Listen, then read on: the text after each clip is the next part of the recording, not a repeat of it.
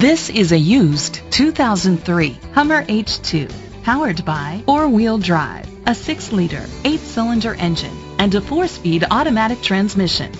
The features include leather seats, heated seats, a home link system, steering wheel controls, memory seats, a premium sound system, auto dimming mirrors, dual temperature controls, automatic climate control, and adjustable tilt steering wheel.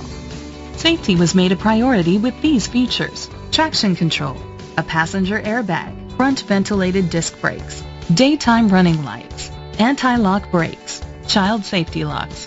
Rest easy knowing this vehicle comes with a Carfax Vehicle History Report from Carfax, the most trusted provider of vehicle history information. Great quality at a great price. Call or click to contact us today.